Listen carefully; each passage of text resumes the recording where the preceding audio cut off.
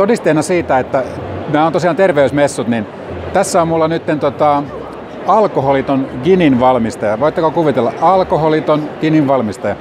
So, first of all, pleased to meet you already. And you? So, so you are the owner of the company, right? Yes. so tell, tell me a little bit of, about, uh, you know, like this non-alcohol gin.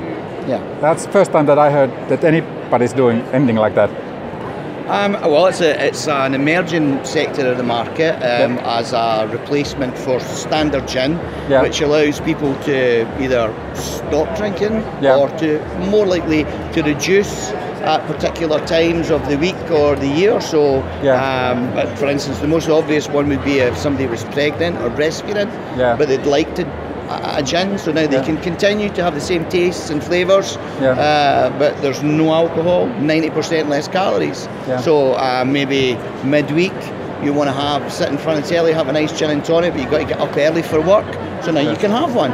Or even if you're in, if you're out with friends, you can start having a real G and T. Yeah. Um, but you don't want to get drunk. You've got an early start, meetings, whatever. So you can switch on to the alternative. Yeah. So So, so how, how is the business uh, like non-alcoholic uh, alcoholic drinks or however you call them? Well, it's um, it's emerging. Uh, Yeah. It started by a company called Seedlip, who did the first non-alcoholic spirit. Yeah. And um, they've grown and grown.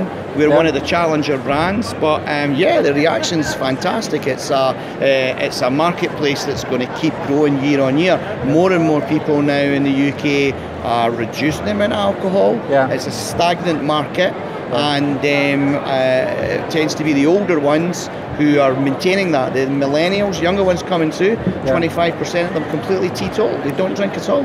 Yeah. And uh, are you exporting already or are you basically selling only in uh, UK? We're in the domestic market at the moment. We're looking for export opportunities. Um, probably we'll, well, our nearest neighbour will go to Ireland first. We've already Yeah. got inquiries there.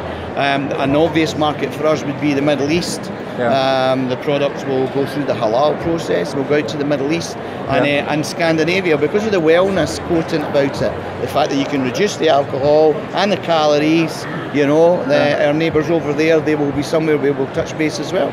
Yeah. And you know the rumors that we are drinking a hell of a lot of vodka, it's, uh, ex- it's exaggerated heavily. I, I, well, I'm Scottish, so I mean, generally we come top of that list. So, so how did you come to the idea of uh, making non-alcoholic uh, uh, gin? Was it like a Um, no, it was actually my son. My son's um, he's autistic. Yeah. I was having a, a gin and tonic, Yeah. and he said, um, "Dad, why why do you drink that?" And I said, "I like the flavour.